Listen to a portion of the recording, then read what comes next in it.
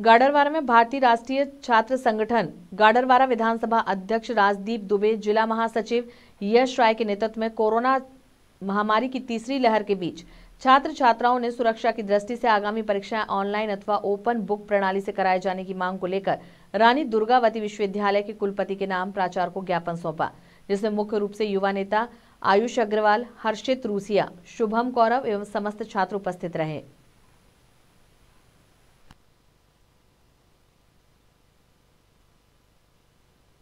कुलपति महोदय जी से और शिक्षा मंत्री जी से कि ओपन बुक परीक्षा कराई जाए, जो कि कोविड लगातार अपनी बढ़ोतरी कर रहा है और ऐसे छात्र छात्र यहाँ आप देख रहे हैं कि कितनी भीड़ लगी हुई है। तो हमारी मांग है, माननीय शिक्षा मंत्री जी से और माननीय आर आईडीबीबी और कुलपति महोदय जी से कि ओपन बुक से परीक्षा करवाएँ छात्र छात्रों के लिए। सदैव एन लड़ती आई और लड़ती रहेगी। धन्यवाद।